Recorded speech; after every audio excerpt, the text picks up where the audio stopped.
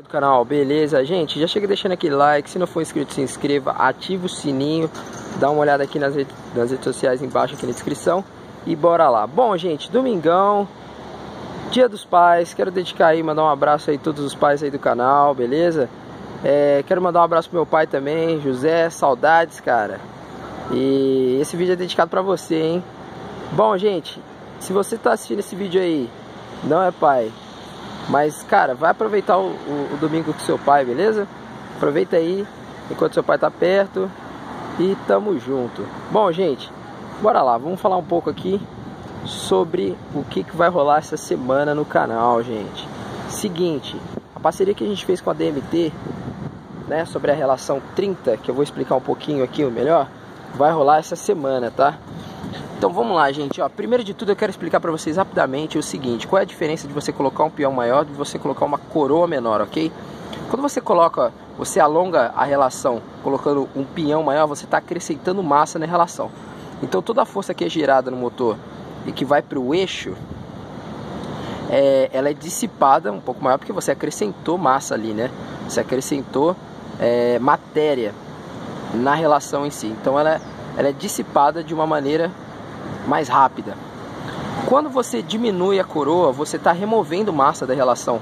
Se você está removendo massa da relação, toda essa força ela se torna mais dinâmica, ok? Ela é melhor aproveitada pelo fato dela se dissipar menos, pelo fato de ter menos massa, ok? Porque se você remove dente, você está removendo material. Então a relação fica longa e leve, ok? Então esse é o lado bom de você usar uma coroa menor, ok? Se você usar um peão maior, você está acrescentando massa, fazendo com que né, a força se dissipe. Se você usa uma coroa menor, você faz com que a força se concentre e seja melhor aproveitada, tá? Então, por isso que a gente está desenvolvendo essa coroa 30 dentes para pop, ó. Vai ter a coroa 30, a coroa 31, a 32 e a 33, que é essa daqui da Bis 110, ok? Vou falar outra coisa, gente. É, essa coroa que a gente está desenvolvendo vai servir tanto para bis 110, para bis 125, todos os modelos, para pop 100, todos os modelos e para pop 110, ok? Então você vai poder usar na sua bis, na sua pop e suave, ok? E aí o que, que acontece? Amanhã, segunda-feira, vai ficar pronto. Eu levei pro Guga lá da DMT a minha roda antiga que eu tinha. Vocês lembram que a roda da frente quebrou? E aí eu tenho a roda a de trás tá boa, eu levei para ele, a gente vai colocar nela e eu vou colocar, vou calçar um pneu Pilot Street igual esse aí, igual esse modelo, só que eu vou colocar o 110, ok?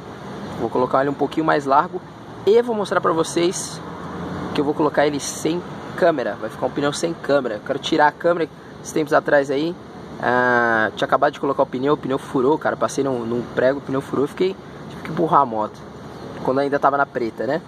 É, bom, gente, mas é isso aí. E aí eu vou explicar isso em outros vídeos aí pra frente com muito mais detalhe, tá? Então fique esperto que essa semana inteira vai ser voltada pra coroa, todo passo a passo, toda a questão dinâmica e da engenharia aí também. E vai ficar show de bola, cara. Não esquece de colocar a hashtag aqui embaixo nos comentários, tá? Coroa 30. E tamo junto, beleza, galera? Valeu aí, falou e é nóis.